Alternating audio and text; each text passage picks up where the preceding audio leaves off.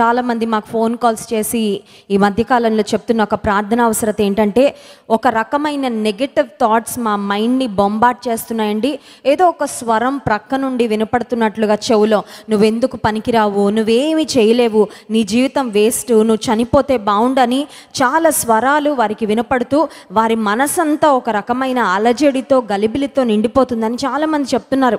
ఉదయకాల సమయంలో కూడా ఒక సహోదరు వచ్చి పర్సనల్ కౌన్సిలింగ్ కొరకు వచ్చి ఆమె చెప్తున్న మాట ఏంటంటే నా లైఫ్లో అంతా బాగుందండి. మంచి తల్లిదండ్రులని ఇచ్చాడు దేవుడు.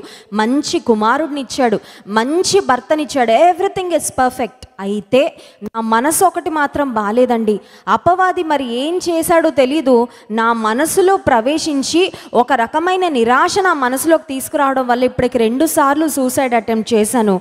కానీ దేవుని మహాకృప వలన చెయ్యి ఇరిగింది తప్ప తల పగలడమో లేకపోతే ఇంకే మేజర్ ఇంజరీస్ అవ్వలేదండి. ఒకవేళ నేను చేసుకున్న ఆత్మహత్య ప్రయత్నాలలో ఒకవేళ నా ప్రాణం పోయింటే ఈ రోజుకి నేను బ్రతికుండేదాన్ని కాదని ఆ సహోదరి చెప్తున్నప్పుడు నిజంగా చాలా బాధ అనిపించింది చాలా ఆశ్చర్యం కూడా కలిగింది.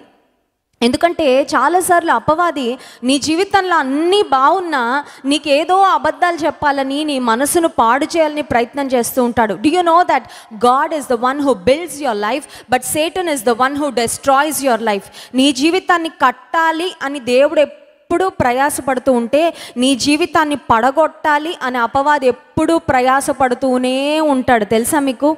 కట్టడం ప్రయాస పడగొట్టడానికి కూడా ప్రయాస ఉంది. కానీ అపవాది కష్టపడైనా సరే నీ జీవితాన్ని పడగొట్టాలని he will make every effort ఖచ్చితంగా వాడు ప్రయత్నము చేస్తాడు. ఒకవేళ నీ జీవితంలో ఏదైనా ఒక ఆలోచన నీకు వచ్చి ఆ ఆలోచన నిన్ను ఎటువైపుగా నడిపిస్తుందో నీవు ఊహించుకొని ఒకవేళ నీకు వచ్చిన ఆలోచన నీ ఆధ్యాత్మిక జీవితాన్ని పతనంలోకి నడిపిస్తుంది అని అర్థమవుతే you have to be alert వెంటనే మేల్కోవాలి. ఏమనంటే నాకు వచ్చిన ఈ ఆలోచన దేవుని నుంచి వచ్చిన ఆలోచన కాదు దయ్యం నుండి వచ్చిన ఆలోచన.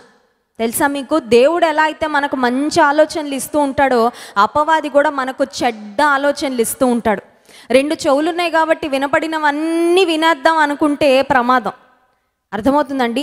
రెండు చెవులు ఉన్నాయి కదా మంచి వినికిడి శక్తి ఉంది నాకు చక్కగా అన్నీ బాగా వినపడతాయి కాబట్టి నా చెవిలోకి వెళ్ళే ప్రతి స్వరాన్ని నేను వింటాను అని అనుకున్నావంటే మాత్రం ఖచ్చితంగా నీవు డేంజర్ జోన్లో ఉన్నట్లే. కొన్ని స్వరాలు నీ ఇయర్ దగ్గర వినపడగానే ఈ ఇయర్లో నుంచి హార్ట్లోకి దిగక ముందే ఇక్కడ కట్ చేయాలి. అలెలుయా అర్థమవుతుందండి? జ్ఞానం కలిగిన విశ్వాసివైతే మీరు శోధనలో ప్రవేశించకుండునట్లు ఎలా ఉండాలంట?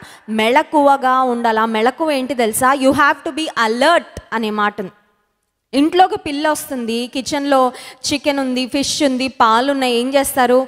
వస్తే రానిలే ఏం చేస్తుందో చూద్దాం. అది వచ్చి చూసి మూతి పెట్టి పాలల్లో ఆ చికెన్ అంతా తినేసి అంతా చేశాక అప్పుడు బాగు చేసుకుందాం అనుకుంటామా? లేకపోతే అది ఎంటర్ అవుతున్నప్పుడే వెంటనే అలర్ట్ అయ్యి దానికి ఒకటి వాయించి తలుపేసుకుంటామా? తెలియగలిగిన స్త్రీలం అయితే అది వచ్చి మన ఇంట్లోకి ప్రవేశించి మన పనిని పాడు చేయక ముందే దాన్ని తరిమేస్తాం. కానీ చాలాసార్లు విశ్వాస జీవితంలో మనకు మెళకు ఉండట్లేదు.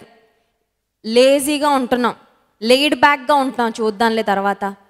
వినబడినవన్నీ వింటాం. అపవాది చెప్పే లైస్ అన్నీ వింటాం. అబద్ధాలన్నీ వినిన తర్వాత ఆ తర్వాత కాసేపటి కనిపిస్తుంది నిజమేనేమో అని. తెలుసా అండి? కొన్నిసార్లు మనం అపవాది స్వరాలు వింటున్నప్పుడు స్టార్టింగ్లో అనిపిస్తుంది వినకూడదు అనిపిస్తుంది. కానీ నువ్వు అక్కడ కట్ చేయకపోతే అపవాది యొక్క స్వరాన్ని నువ్వు వినడం మానకపోతే అపవాది నీ చెవులో మాట్లాడుతూనే ఉంటాడు. దేవునికి లోబడి ఉండుడి అపవాదిని ఎదిరించుడి అప్పుడు వాడు మీ యొద్ద నుండి పారిపోను నేను అంటున్నది ఏంటంటే అపవాది వెనకాల ఒక కర్ర తీసుకొని అపవాది ఎక్కడ ఉన్నాడు మా ఇంట్లో ఈ మూల ఉన్నాడా ఆ మూల ఉన్నాడా ఆ ఇంటి పక్కన చెట్టు మీద ఉన్నాడా?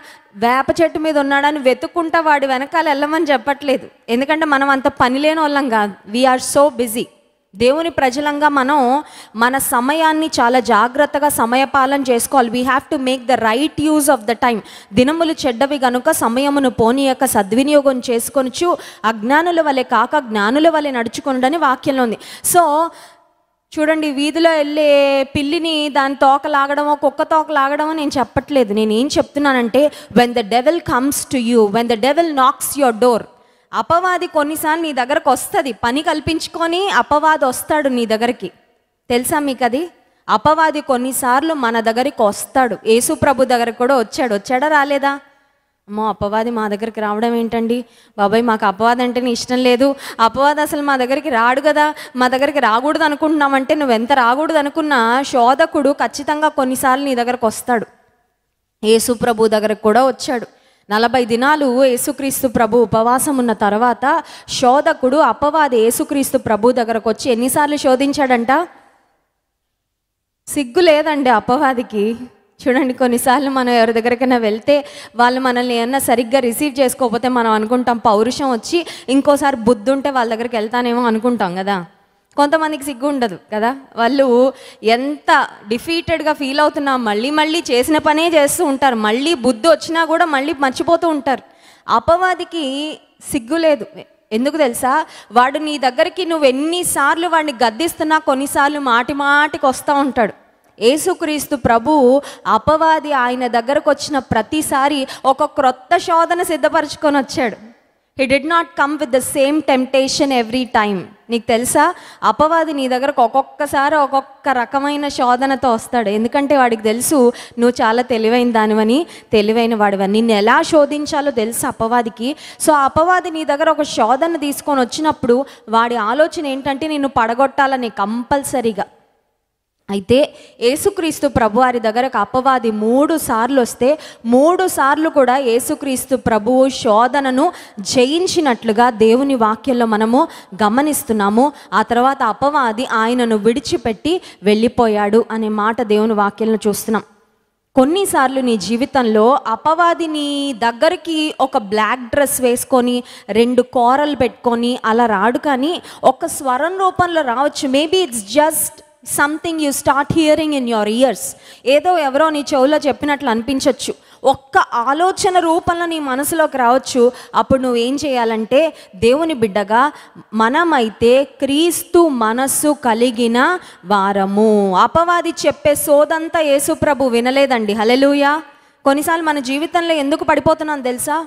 You keep you give an ear to the enemy అపవాదికి చెవి ఇచ్చేస్తున్నాం మనం. వినుటకు చెవులు గలవాడు ఆత్మ సంగములతో సంగములతో చెప్పుచున్న మాట చెవి గలవాడు వినుగాక అనే మాట ప్రకటన గ్రంథంలో చాలాసార్లు చూస్తున్నాం. ఏసే దేవుడు మనకు రెండు చెవులు ఇచ్చాడు. కానీ చెవులు ఏం వినాలో వాటిని వినడానికి వాడలేకపోతున్నాం వాక్యం వినడానికి చాలాసార్లు చెవులు ఇవ్వలేకపోతున్నాం మనం. కల్పనా కథల వైపు మన చెవులు వెళ్ళిపోతున్నాయి. అపవాది చెప్పే అబద్ధాలు చాలా బాగా వింటూ ఉంటాం. అపవాది చెప్పే అబద్ధం మన మనసులో బాగా నాటుకుపోతుంది. అవునా కదా? కొన్ని కొన్నిసార్లు మనకి పది మంది మన గురించి వచ్చి చెప్పే మంచి మాటలు మనకు గుర్తుండవు కానీ ఒకళ్ళు ఏదన్నా నెగిటివ్ వర్డ్ మాట్లాడితే అదే ఉండిపోద్ది మనసులో. అవునా కదా? భర్త పదిసార్లు నువ్వు వండిన వంటకి కాంప్లిమెంట్స్ ఇస్తే అది గుర్తుండదు. ఒక్క కూర బాగాలేదనగానే ఇంక అదే గుర్తుపెట్టేసుకుంటుంది. అవునా కదా? అది మనిషి యొక్క స్వభావం. కొన్నిసార్లు మన మనసులో దేవుని వాక్యాలు ఒక వంద మనం వినుండొచ్చు కానీ అపవాది వేసే ఒక్క నెగిటివ్ వర్డ్ కొన్నిసార్లు నీ మనసులో చాలా బలంగా ప్లాంట్ అయిపోతూ ఉంటుంది రూట్ అయిపోతూ ఉంటుంది. కానీ దేవుని బిడలంగా ఈ రాత్రికాల సమయంలో దేవుడు మనల్ని హెచ్చరిస్తున్నాడు. మనమైతే క్రీస్తు మనస్సు కలిగిన వారము. నీ మనస్సులోకి ఏమైనా రాని whatever it might be రేపొద్దున్న పొద్దున్న మనసులోకి ఏమొస్తుందో నాకు తెలియదు తెలుసా? మార్నింగ్ సెకండ్ వర్షిప్లో జాన్ వెస్లీ గారు చెప్తూ ఉన్నారు ఒక యవనస్తురాలంట అందరి ముందే స్టేషన్లో వెళ్ళి రైలు పట్టాల మీద పడుకొని ట్రైన్ ఆమె మీద నుంచి వెళ్ళిపోతే బాడీలో పార్ట్స్ అన్నీ తెగిపోయి పడిపోయాయంట. అంటే ఆమెకి ఏం జరిగింది? వాట్స్ రాంగ్ విత్ హర్ అంటే ఆమెలోకి ఒక ఆలోచన వచ్చింది ఒక తప్పుడు ఆలోచన వచ్చింది ఇక నీ జీవితం వల్ల ఉపయోగం ఏంటి? వెళ్ళి చచ్చిపో అని. అపవాదికి తెలుసు నీ మనసును వాడు క్యాప్చర్ చేయగలిగితే నిన్ను కంప్లీట్గా వాడు క్యాప్చర్ చేసినట్లే. అందుచేత విశ్వాసులంగా మనం ప్రతి దినము క్రీస్తు మనసును కలిగి ఉండాలి. Lord give me Christ like mind. క్రీస్తు వంటి మనసు నాకు ఇవ్వు.